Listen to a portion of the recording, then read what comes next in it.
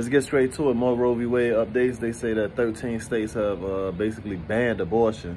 All of them in the South, of course. You already know. California then came out and said, bro, we going to keep letting people abort babies. I got a love-hate relationship before abortion because, you know, my mama had me. She was pregnant with me at 15 years old, so I could have been an abortion. So that's why I kind of be like, dang, man, people shouldn't abort babies. But on the other hand, abortions have saved me from being a very young father and abortion and like kept me from having some babies with some chicks that I really ain't rock with. So, um, you know, that that's that's uh that's like a love hate relationship type thing.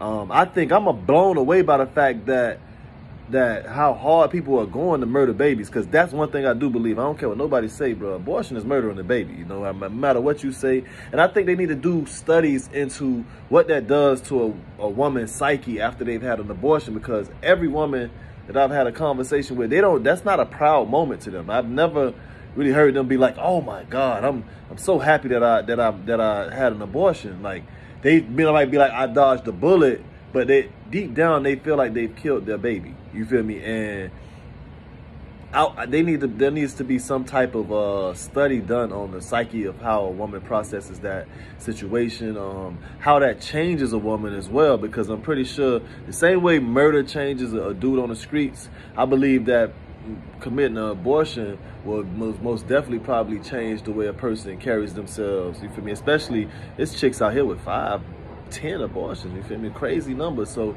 I, I wonder how that is, but back to the facts. Um, the 13 states is all in the South. Like I said, it's gonna be in the Bible Belt from the East Coast to about Texas or whatever. Everything south of Tennessee about going go, go ban abortion or whatever. Um, I wonder what Florida gonna do because I know Florida already said you can't have abortion after 16 weeks. That's four months, so that the baby about kicking. You feel me? That's kind of that. You feel me? If you want to have an abortion after 16 weeks, that's that's that's fucked up if you ask me. But you know, uh, like I said, man, like, comment, subscribe, hit me up. I wonder what Florida gonna do. What you think Florida gonna do? What y'all think? How they think this gonna play out? I think it's crazy how people protesting this because no matter what you say, bro, you protesting for killing babies. You feel me? That, that's wild. That's wild to me. But you know, it is what it is, man. Like, comment, subscribe. Let me know what you think.